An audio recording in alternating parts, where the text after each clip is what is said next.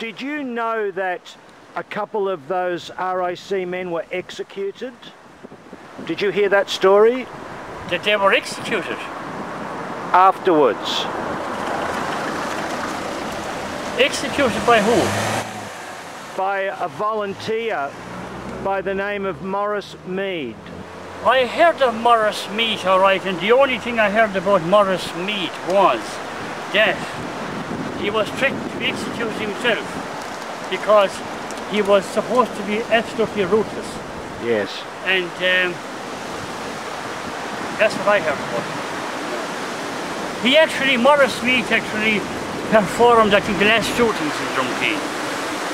Last shooting. Who were the two men who escaped Uh, and where did they go? Uh, the two escaped were District, District Inspector Adam Sanson. He was in charge of the convoy.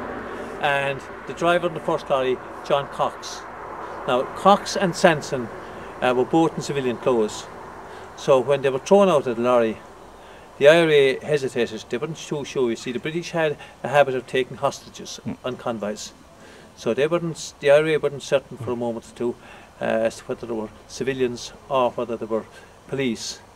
And by the time they realised that they were part of the convoy, they had made some distance and they, before the IRA opened fire on them.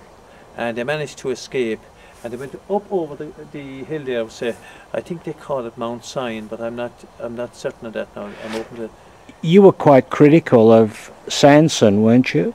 essentially he was the man in charge, you know, and he did leave uh, his mental faith. Now, whatever you say about Cox, he was just another uh, policeman. Uh, Sanson, after all, was the, o- the commanding officer. And they were looked after by the O'Briens, who had Well, I no option. had no option. I wouldn't say they were looked after. Essentially, what happened was Paddy O'Brien was out in the fields, I think, spreading dung. And they came on him and they forced him to to to to, to uh, empty the cart and take them to to Drumkey or to take them to Pallas Green, uh, covered in hay. Now, as I say, in fairness to Paddy O'Brien, what else? yeah, he could he do? Yeah. There has been various views on that. Uh, they weren't protected. They demanded a horse and trap to go to Pallas Green. He, he went into a local farmer.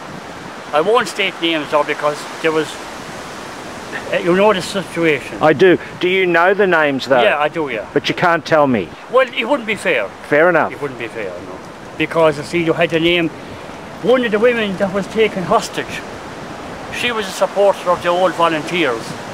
And she kind of said anybody that assisted them were kind of collaborators.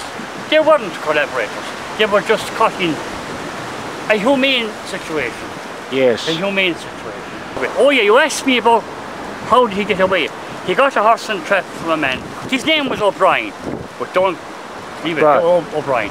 He got a horse and trap from him, and he said to O'Brien, he was hysterical.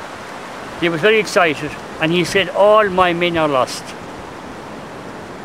And he went over to Green to raise their alarm, and they came on in, I think, later and the bodies were here and the clergy were here and they were very excited. The officer in charge actually escaped. His name was Cox. He returned to Ireland in 1970 and came here to Dromkeen To do what? to just reminisce. Really? Yeah. Came How do you know that? I met the old people told me, one or two told me. Wouldn't turn back because they were, they were confused. It was also said they were they drink taken, they were drunk.